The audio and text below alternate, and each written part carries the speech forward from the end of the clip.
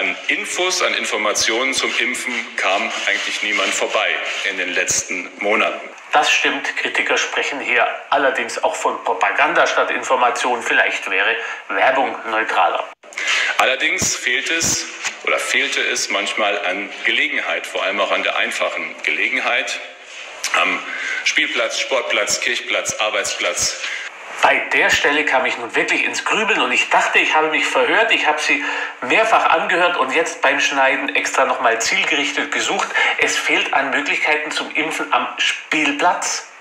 Lassen Sie sich das mal auf der Zunge zergehen. Unglaublich in meinen Augen. Auch wenn Kinder vielleicht hier nicht gemein sind, aber man geht mal kurz raus mit dem Kind spielen und soll dann nebenher noch schnell geimpft werden.